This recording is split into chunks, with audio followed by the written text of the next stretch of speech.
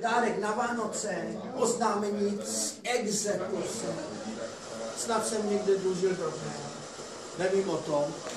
Je to možné? Nepomohlo modlení. Nepomohl pastor, přišel jsem o bydlení, dostavil se zákon.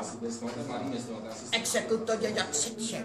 Nezapřeskou pomahu. Brozmolých hromadeček na svou velkou hromadu. Zlo se nemá odporovat, domluvte se.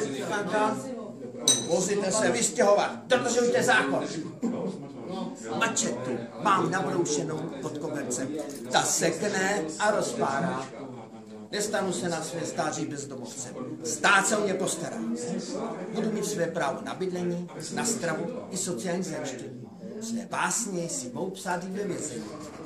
Vyžádám si na to soudní Opravdu, také některým lidem nic jiného nezbyde, než tohle udělat. Já se divím, že už tu policii někdo někomu nemusí. Opravdu.